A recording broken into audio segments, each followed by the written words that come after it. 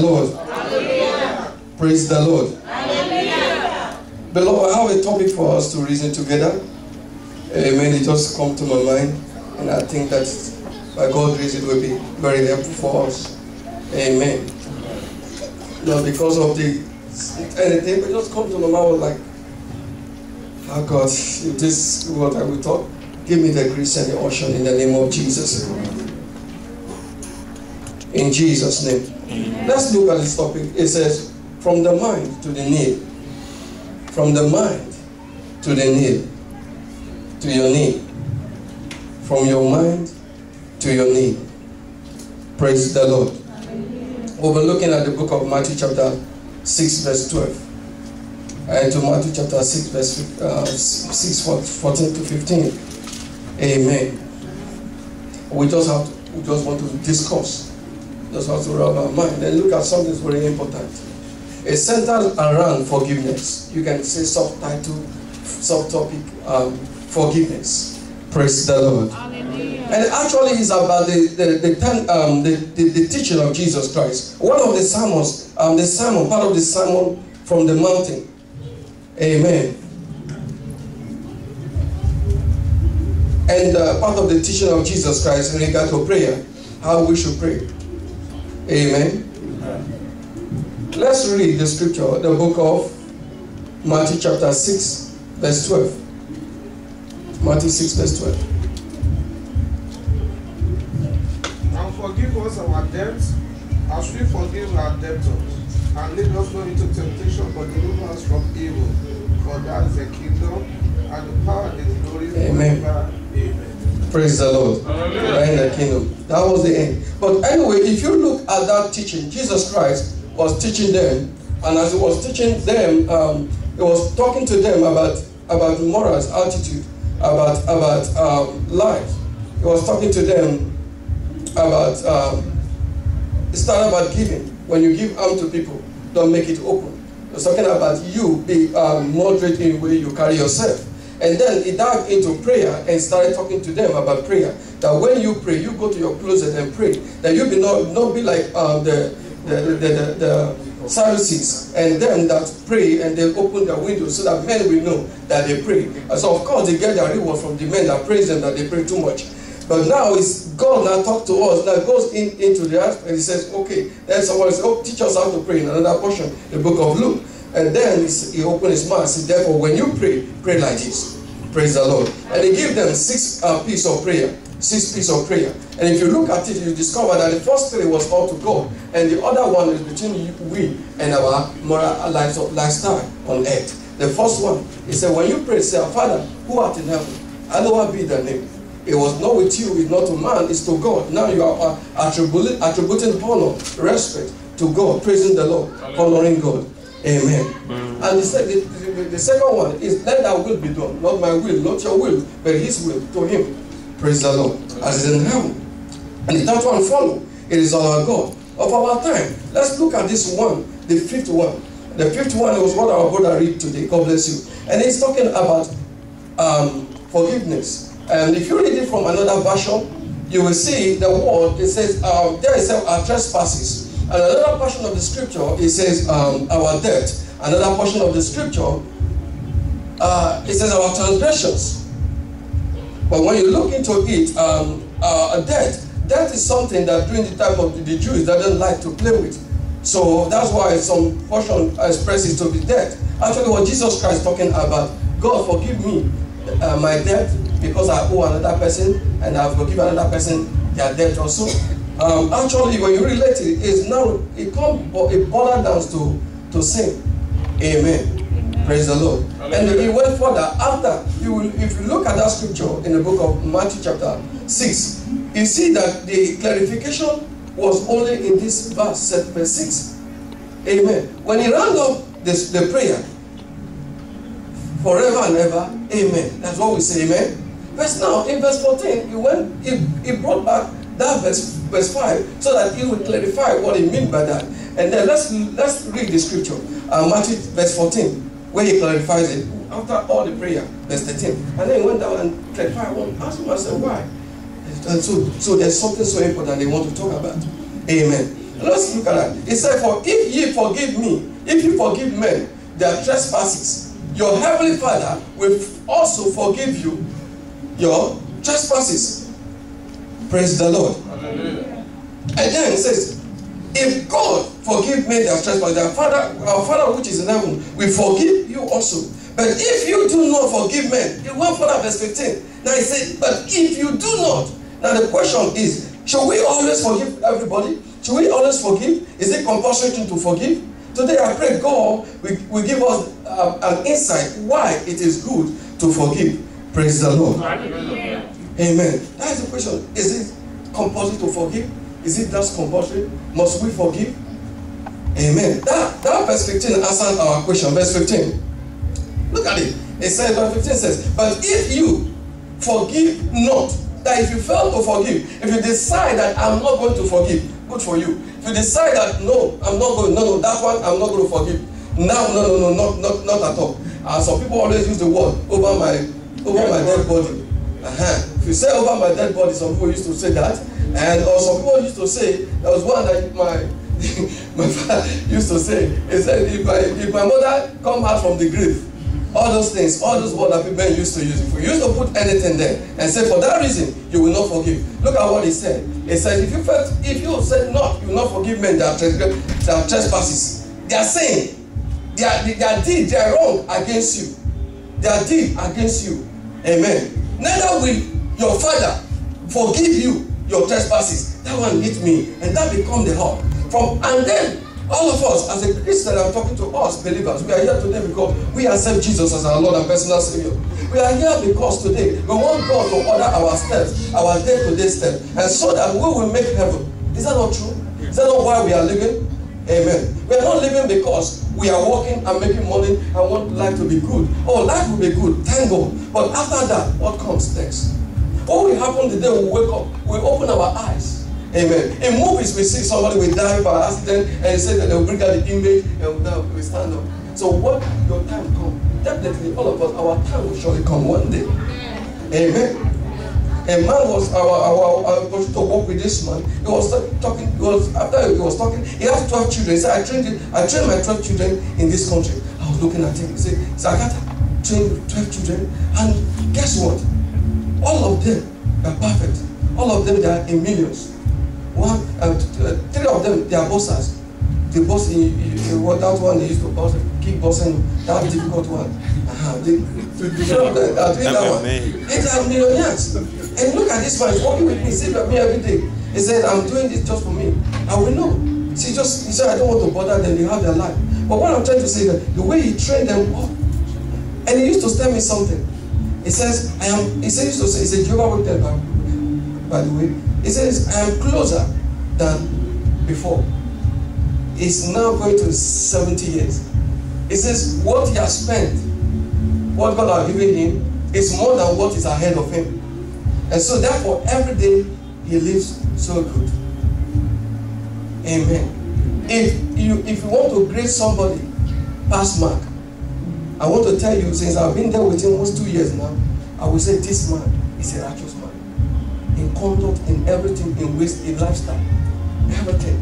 Nothing. He will not know anything that will hide from you. He was so plain and so honest. Praise the Lord. Hallelujah. But he said that the days ahead, they are very short.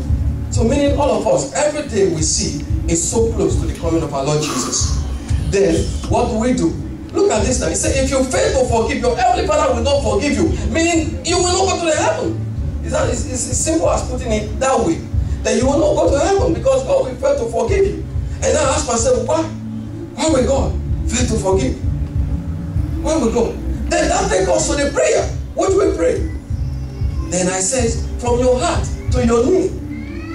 We can then kneel down every day. We can then gather and go keep kneeling down, kneeling down, kneeling down. If you kneel down, your heart is not with the Lord. It's in vain. He said, in vain did they pray to me. In vain did they call my name. And you said the other day in the, school we saw it. He says that I will say to them, "Guy, last week, he said, get behind for I know you not. You workers of iniquity. And then this one of the reasons. Praise the Lord. Because it is great for Christians to say, I am going to pray. I'm going to down and pray. But is it quick for him to say, My heart is upright before the Lord? My mind, my heart. When I talk about my heart, I'm not talking about a particular location of your of your body part. There's no location. Where is your mind? I don't know where your mind belongs into. A soldier will not even know where your mind is. No. Where is your knee? The knee I'm not talking, I'm not talking about this knee. I'm talking to a place where you pray. It could be where you are walking, you are praying about something. It could be something you are expecting. That is your place of your need. Something that you wish for. That is the place of your of your knee. Something that you desire from God. Something you hope for God. It's the lifestyle that you hope. Tomorrow that you hope from God. That is your need. Your need should be sought for before by your mindset, by preparing your heart, preparing your mind. We see in the book of Mark chapter 11 verse 20, 25, it said also, it said but that the same thing. It says, and wherefore ye stand and pray, forgive if anything against anyone, forgive if there be anything against anyone, so that your heavenly Father, your Father, also who is in heaven, may forgive you your trespasses. But if you do not forgive, neither will your heavenly Father, who is in heaven, forgive you. If you fail to forgive, God will not forgive you. And Jesus in another place, he said, the same cup that you used to measure, the same will be measured back unto you. The same cup at which you measure, the same measurement, the same way you put it. Why? Why all this thing? Why is God? Why Jesus trying to piece God like that? Put God that God is like that. If I fail to forgive, God will not forgive me. Was thinking about it last night. He just called up me and said, Lord, this is it. I never think about that before. Do you know what I, I think about it? Listen with me. Think about it like this. Because Jesus is who? Who is Jesus to you and I? Jesus is our what? Advocate. Amen. Amen. You know he's going to be our advocate. You know he's going to be our lawyer. You know he's going to be the one to me- mediate for us. You know he's the one that's going to plead for our guilt. And he's teaching us how to pray. Amen. Do you know you can you can have an issue and issue now you have an issue you have something going on and you have a case. Who will advise you if you have issue? All these things going on you have a case. Is a lawyer. And when the lawyer will tell, tell you, don't talk anyhow, don't talk to other party. Don't talk anyhow. The only you see something that's going on in the TV, you always say the time they should have advised, don't talk, don't talk, don't talk. Don't talk. Have advised that guy. Don't talk. Don't talk. But the will say, don't talk. In the in the court, you say, just answer simple question. It will tell you how you will answer, it will prepare you. Or else you are going to make the case more difficult for you. I was looking Jesus case like that. He's my advocate. What is Jesus Christ trying to say here? What is he trying to prove here? He said to say, remember, when you sin, when you do other sins, when you pay people all this way, then one day you will come and I will drag your hand. I said, Daddy, I've come with him. Oh. I've come with um, Tony. And Daddy will be looking at him. Say, Jesus, Tony. And Daddy will be there. I will say, Daddy, ah, ah, God. Tony, look at Tony, look at Tony, look at what Tony has done. Tony, look at the measure at which he has measured to this, at which he has measured to that one, at which he has measured to everybody. See, see? And God is not partial. The same way you give to body, so that is the case. And Jesus now will says, Father, ah, my blood now, is trying to tell you, don't make the case complicated for me to plead for you. If you have all this baggage, how can I now plead for you? You are now, you have already already told us that when men, men deal with you, you deal with them back. Okay, you deal with God, God will deal with you back. Amen. Amen. You have told us that when men, whatever they do, you don't forgive them. Ah, will not forgive you. So all those ones you have done against God, God will say, God will say, God, why will you forgive him? He says, His own, you set your law by yourself. May God help us in Jesus' name. Amen. We live a life that will set our yardstick, our measure, our call by ourselves. You have set it. That is how you want it to be. That is how it's going to be. It's going to be reflection unto you. It's going to be a reflection unto you. And then you make the case difficult for Jesus Christ to plead for you. That's how we make it difficult. And Jesus don't want that. And that's a quickly resolve it. quickly forgive. They don't have anybody in your mind. And so that when you plead your case in your name, God will have the reason to forgive you. That's why he teaches that prayer. And so that when you are forgiven, and then he just said, Oh Lord, forgive me my sin, so that I will forgive my friend. Did he say that? Amen? Did he say that? No. Read out the scripture. He didn't say, Forgive me, oh Father in heaven. And then he come to the fifth one. He said, Forgive me my sin, so that I will forgive. After you are forgiving me, God, you give me an example. Okay, God. Now I'll go. Where's that guy that has sinned against me? I'm forgiving you because God has forgiven me. In the first place, God have already forgiven you. That's why you're a child of God. Amen. Praise the Lord. Another complication comes in and asks myself a question. Why is Jesus saying this? That every time we come to pray, we will pray like that. Is it that we will continue? Is it contrary that we will continue? Because the Bible says that in the book of John, it says that he that is born of God sinneth not. Praise the Lord. That we are born of God, that we are not supposed to sin. We don't live the life of sin. Amen.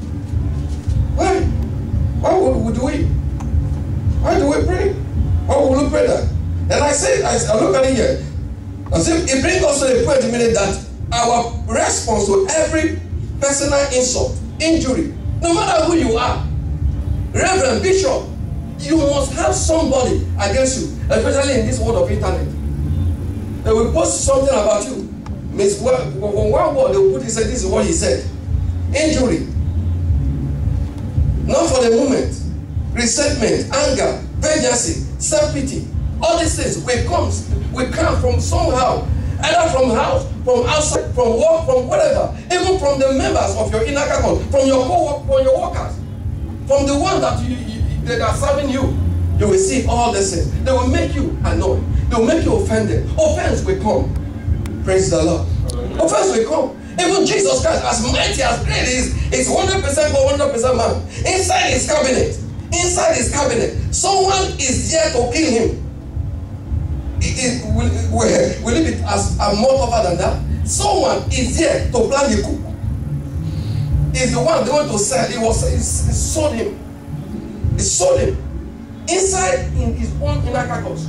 So if you are Jesus in your heart, you know this guy just stood up, and you know with all the everything, you know they connect with them. Oh, he just stood, stood up. So really, is it is it good to him? Is really this guy? Amen. Amen. As a woman, when the one person of woman with tell this guy is bad.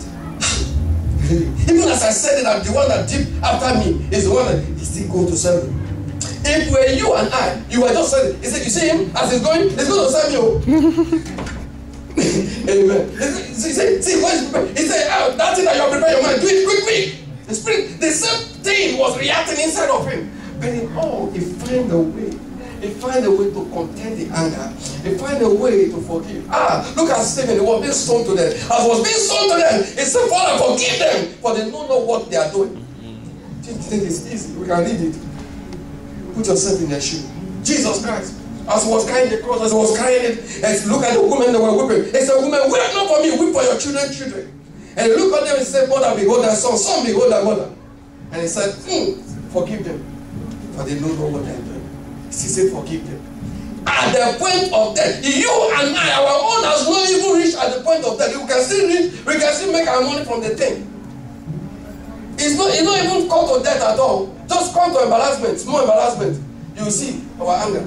Just come to small disappointment. You will see our anger. We don't forgive him. Just come to small letdown. You will see we cannot contain it. We are talking about people that have been lame to, to stray. Even they were about to crucify them. But Peter was turned upside down. They were crucified, they were putting the oil, everything. They would have been releasing. Don't you know that some curses that you will release on them, you even can make them die instantly? But that anger was out. Was even giving them instruction. No, turn me upside down. I'm not a master. Ready? That's who Christians. We Christians. That's who we are. I'm telling you. As we were with them before, what, what, this talk. I said, does it mean that anger will just pop up?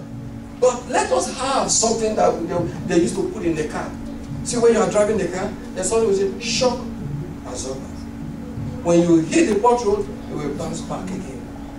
Let us have a moment of shock absorber to absorb everything that is thrown upon us. Things are going to come up. No, let, let it be known Whether you know you like it or not, things will come up. As a child of God, as we live our life. And Jesus says in the book of John, chapter 8, verse 30, 34, He said something so striking there.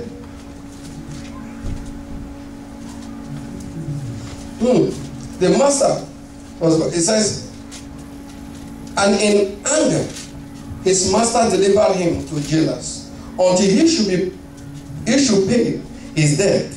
That he says, so also my father which is in heaven will do to every one of you if you do not forgive your debtor. We learned that one three weeks ago. Amen. In our Sunday school. Says, it says also your the master, if say that one, that one forgive someone, after you have treated the other servant, he said, forgive you. You fail to forgive others. Jesus also used that one as a teaching to us that forgiveness is very important. Praise the Lord. Hallelujah. And the question is that is only forgive, true forgiveness that God will forgive us? No, it's not just only forgiveness that God other things that God will forgive us. So when we forgive that, God forgive us also. For God forgive us not forgiveness. He forgive us because of His grace. Praise the Lord. Hallelujah. He forgive us. Forgiveness come from a heart of grace. Grace. It's not your. It's not that. It's just from the heart of grace that forgiveness come. So meaning that we will carry that we hook our mind to the Lord, so that He give us the grace to forgive.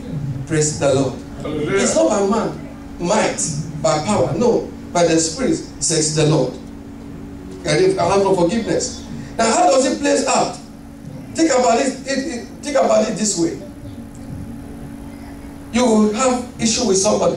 You have a quarrel with somebody. As you are quarreling with the person, and you just like, what type of nonsense it is? This and that. You know, that out of anger, you just whether you bang the door and you leave the place and you say, Well, in fact, I will have opportunity to show this person. And I will put it down, all this thing that you have been doing, doing, doing, doing, doing. And no, the other day, the other day, the other day, you have this burden in your mind.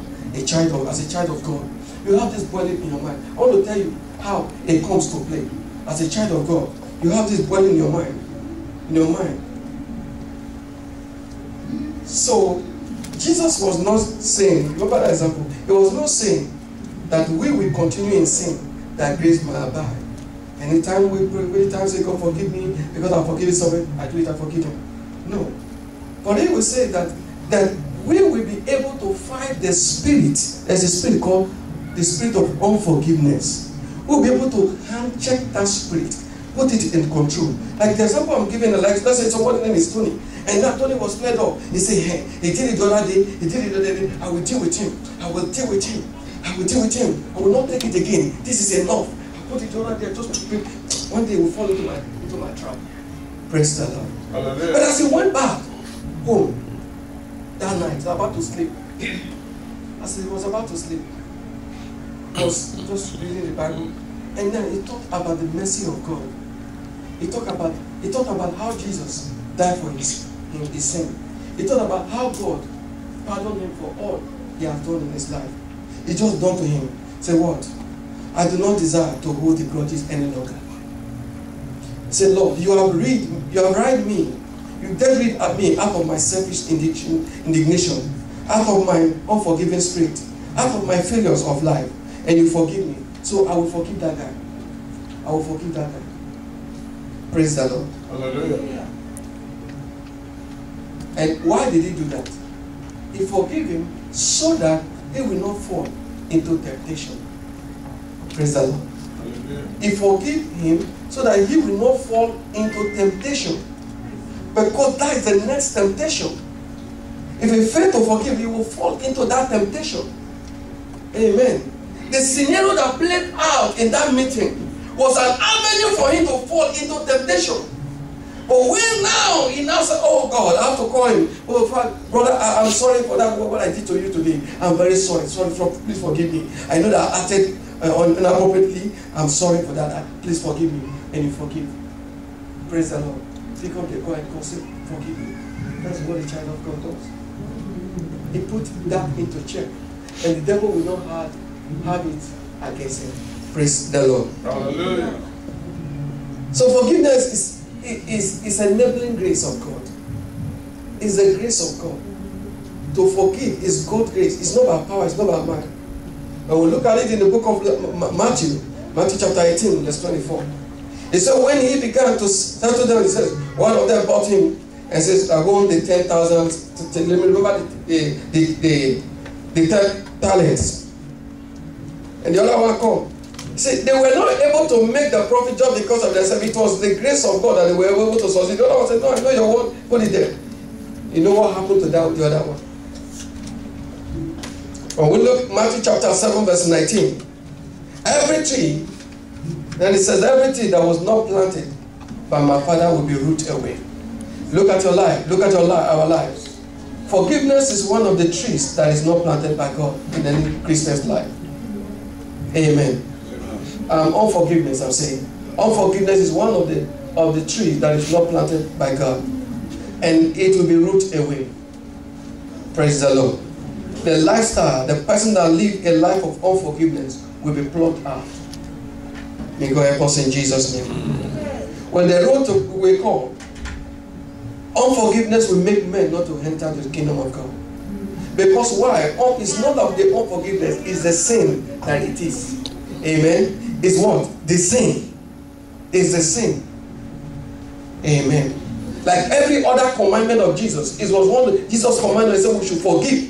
And if you fail to forgive, it lay there in verse 15, where we read Matthew chapter 6 and verse verse 14 to 15, there where it says what? It says, Your heavenly, our heavenly Father will not also forgive us. If you know that God will not forgive you, then that is a, a, a for you. That was a, that is a reason. No question asked for us to be able to forgive. And then the other time was asking, Peter was asking, how many times? And Jesus said, 70 times, 70 times a day. Meaning it is endless. How big? How? What type of, what type of offense? Everyone, all type of offenses, we will what? We will calmly please forgive. Praise the Lord. Hallelujah. But one thing is certain, the person who has true, thorough mercy has been born from above that cannot be the same anymore.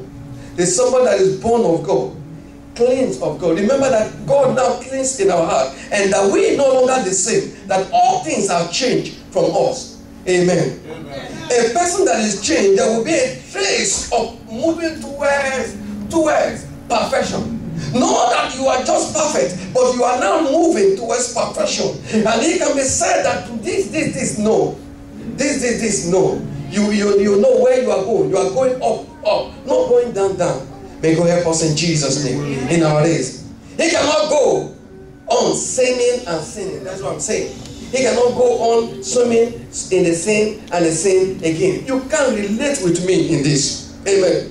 I, just say some years ago, we, we, we, uh, we have a, um, a convenience store called a supermarket. Because I'm the person, I'm the grown up there, I'm the one in charge. My dad wants it, but I'm the one that child, one that monitors activity. He goes to the on the child and bring things. I'm the one that sells it. Amen. Amen. To sell cigarette is my worst problem. problem. Amen. Cigarette, other things, wine, all this wine, alcohol wine, and I will not.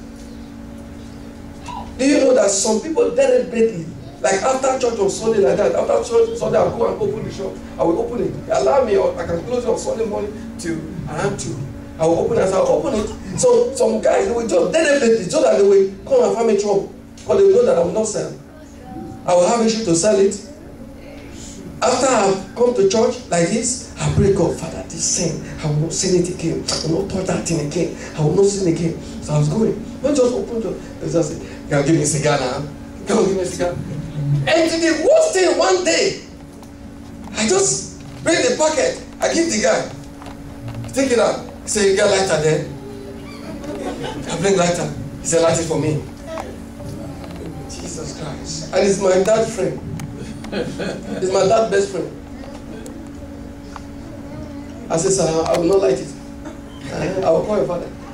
I will not buy. And will not come here and buy things again. I said, I will not, I will not like, like I will not light it. He will say, see, you must light it.